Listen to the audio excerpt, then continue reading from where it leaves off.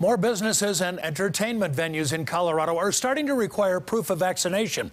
The Denver Center for the Performing Arts announced its requirements yesterday.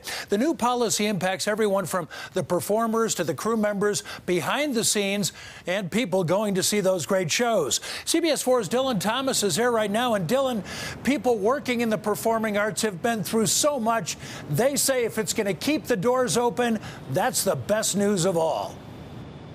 Yeah, Jim, for about the past year and a half, these doors here at the Ellie Caulkins Theater have largely remained locked. Every single canceled show means more times that the crew, the cast, and others aren't making any money.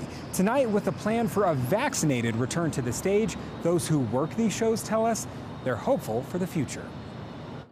Seeing the Denver Performing Arts Center make that kind of announcement uh, to me, it's just wonderful. For Christopher Lutz, the Denver Center for the Performing Arts decision to require vaccinations was great news. For more than a year and a half, the audio engineer's career has been, well, muted. It's been like the year-long vacation that I never asked for. The performing arts as a whole has been among the most drastically hit businesses during the pandemic, with vaccines for those 12 and older and negative COVID test results for those 11 and younger now required to attend shows. This public health decision by us as resident companies on the arts complex is really a message to say, we want you to come back. We have missed live theater so much. When you're sharing an armrest with someone right there in the theater, often a tissue as well, you need to make sure that everyone feels safe in the environment. Lutz says this decision brings the audience up to speed with the cast and crew. So they're doing rapid testing uh, to all stagehands now, and there's also a vaccine requirement too. So across the industry, this is where everything's moving toward. After more than a year of being away from the stage. So we're all just real happy to get back to work and start doing, uh,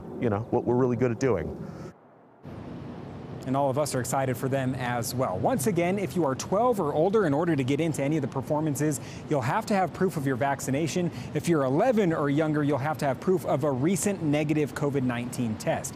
And no matter your age, if you have a ticket and you're going to a performance, you must wear a mask the entire time. Reporting live at the Denver Center for the Performing Arts, Dillon Thomas covering Colorado First.